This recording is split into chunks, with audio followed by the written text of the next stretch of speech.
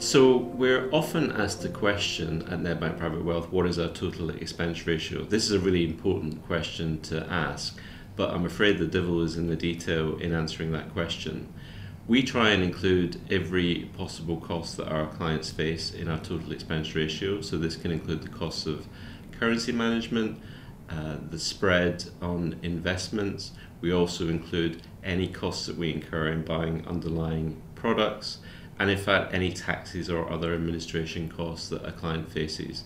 We want to be as transparent as possible in the costs that clients face when they invest with us, and of course, there is also our own annual management fee. I'd say when you're comparing total expense ratios from different providers, the devil's in the detail, and please make sure that when an investment manager talks about their total expense ratio, you understand exactly what is in that figure.